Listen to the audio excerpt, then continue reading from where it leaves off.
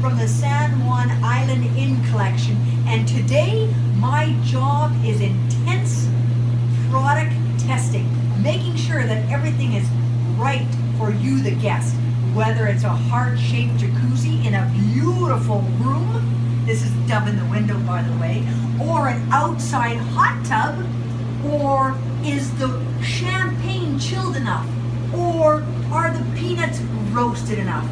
Yes, it's a tough job, but you know, someone has to do it. And I'm gonna excuse myself because I have more product testing to do, so here's a dealio.